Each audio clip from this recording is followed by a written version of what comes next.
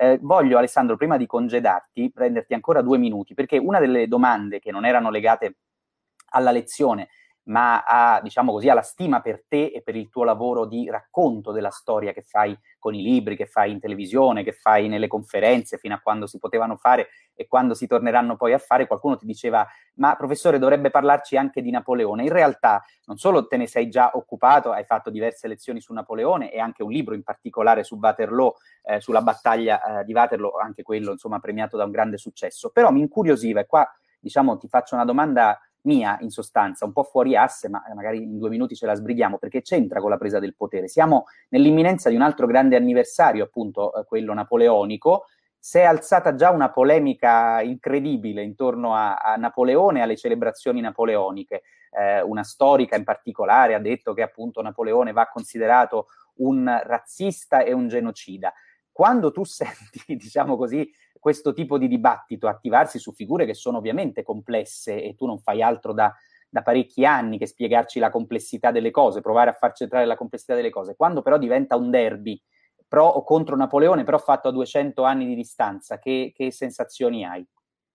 Pessime, devo dire, eh, nel senso che un conto è dire Napoleone è interessantissimo, eh, è stato un uomo che ha incarnato un'intera epoca, che ha affascinato un'intera generazione, che ha cambiato il mondo e non in peggio, va detto, e di conseguenza parlare di lui, occuparci di lui e ricordarci di lui è assolutamente fondamentale e sarebbe grottesco che dovessimo smettere di farlo.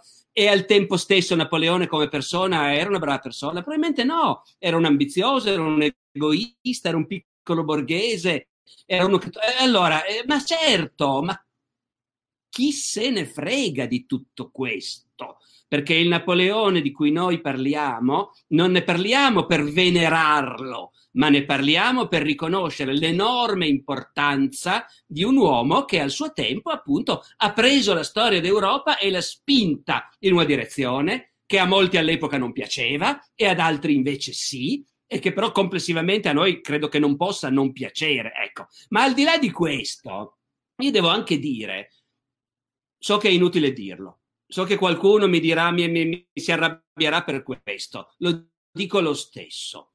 Anche Socrate era razzista, anche Lincoln era razzista, tutti sono sempre stati razzisti a questo mondo, fino a quando noi, alla nostra epoca, non abbiamo scoperto a livello teorico, in pratica è tutto un altro discorso, ma a livello teorico non abbiamo scoperto il fascino di una posizione in cui invece appunto il razzismo viene considerato una brutta cosa e è eliminato.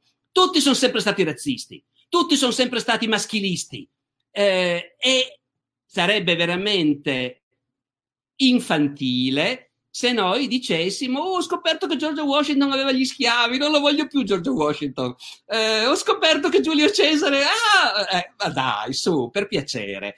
Fermo restando che dobbiamo aver chiaro che la storia non si fa Forse è questo l'equivoco, per venerare i personaggi che studiamo e di cui parliamo. Ecco, si fa per capirli, magari anche condividendo il senso della loro grandezza e della loro gloria, che rimane intatta anche se hanno commesso crimini e hanno avuto idee che a noi non piacciono. Amen.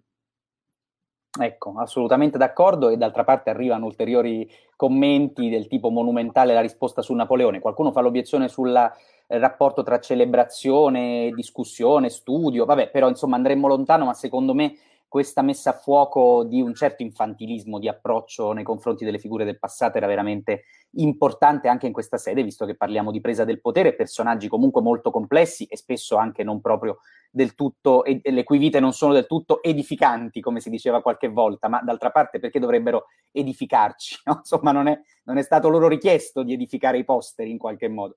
Grazie ad Alessandro Barbero, veramente è sempre straordinario dialogare con lui e ascoltarlo e grazie a tutti quelli che hanno seguito ovviamente questa sia la lezione, ancora visibile fino al 30 giugno nella sezione Masterclass di Auditorium Plus e noi ci ritroviamo domenica prossima. Grazie mille al professor Barbero.